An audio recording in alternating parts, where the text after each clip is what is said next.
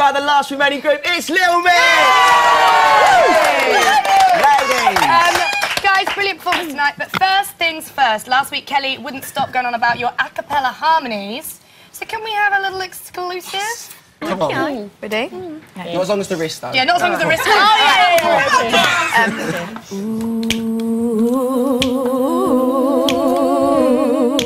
yeah. The damage is done, so I guess I'll be, so I guess I'll be leaving.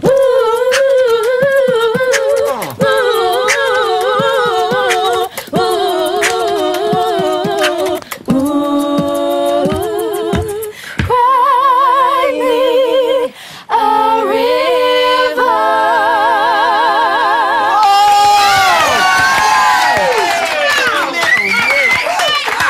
I love that song. That's amazing.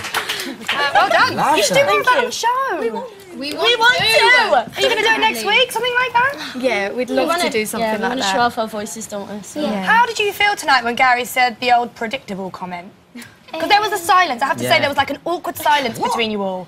Um, well, I think we expected it because our song did get changed last minute, Yeah. and we was doing a slow song and then it got changed last minute. So Oh wow. Okay. Yeah, man, how, how hard is that, though? Why did that change? Yeah, why? I don't know. I think um, I think everyone likes us having fun and stuff, yeah. and like a lot of people did a few slow songs tonight, so it was nice to have someone up there that people could smile at and dance along to. Do you know what I mean? And, and has, has it feel being the last group left? Has it been a lot of pressure this week?